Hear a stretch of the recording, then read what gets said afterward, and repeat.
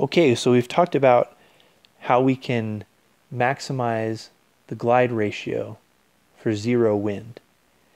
Uh, and we and what I said was that we will not cover here how to do that with wind. However, the process that you follow is the same. But I did want to talk a little bit about how wind affects the glide ratio and also how the wing loading affects the glide ratio because it's pretty interesting. Okay, so let's take a look at first the effects of wind on the glide ratio. Okay, so uh, excuse me, not on the glide ratio, but on the best glide ratio airspeed. So that's going to be VGB. Okay, so the way this looks, I'm going to draw a plot here. Looks something like this. So if we have on the x-axis the wind speed, and on the y-axis the best uh, glide ratio airspeed. And let's say that the wind the uh, wind speed goes from negative 50 to 50 and the our best glide airspeed for this aircraft this is we'll just say this is an example general aviation aircraft it'll go from about 90 to 120 okay so we got about 100 here and 110 all right, so it looks something like this.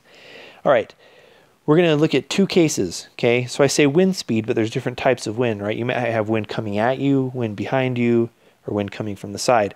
So in the case of a headwind, or in the or a negative headwind would be a tailwind, the best glide airspeed is going to change. So you can imagine that if we have a tailwind, then we'd want a lower best glide airspeed because the, the tailwind helps us. If we have a headwind where the wind is coming toward us, then we'll need to have a faster uh, best glide airspeed because we're, you know, we need to we need to travel to counteract that that wind that's coming at us. So it looks something like this, okay? So it increases as our headwind speed increases. So this is a headwind. However, in the case of a crosswind, we find that if we the higher the crosswind is from either direction, the higher airspeed we need. And if there's lo- a low crosswind or zero crosswind, we need less airspeed. Or our our best glide ratio airspeed is lower. Okay. Okay, so that's not too surprising, right? I think that's that's fairly fairly reasonable. But something kind of interesting happens when we look at the wing loading. Okay, so I'm gonna I'm gonna erase these things here.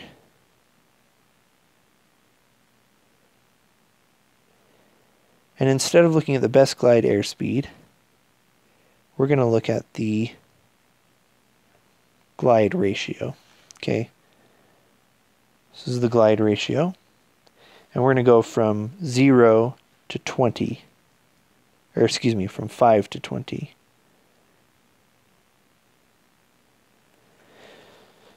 Okay, so for this aircraft, um, well, and, and I guess we're going to be talking only about headwind in this case.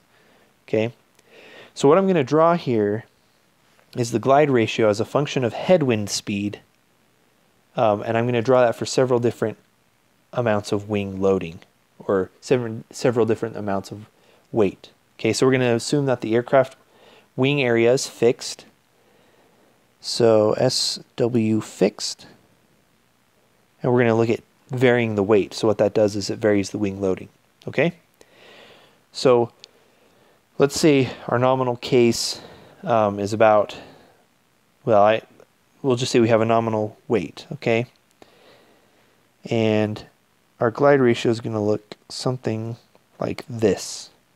Okay, so as we as the headwind increases, so as we get faster and faster wind coming toward us, our glide ratio decreases.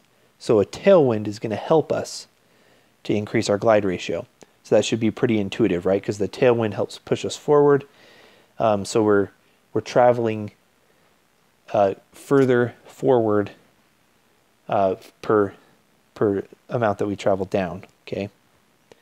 Now, if we decrease the weight, so in other words, what we're doing is we're decreasing the wing loading. We start to get stuff that looks like this. Okay, so that's a little bit exaggerated, but this is decreasing weight and decreasing wing loading. Okay, but the interesting thing to note here is that at, in the in the case that we have high headwind speeds, the the case here that has the highest glide ratio is the highest wing loading case, which means that we have the most weight. Now, it might seem counterintuitive that that you would get a better glide ratio by increasing the weight of the aircraft because we know as we increase the weight, we get more drag, right? We get more induced drag and and so it seems like that should hurt us, right? But there's actually a reason for this. And it's because there is a drag and potential energy trade off.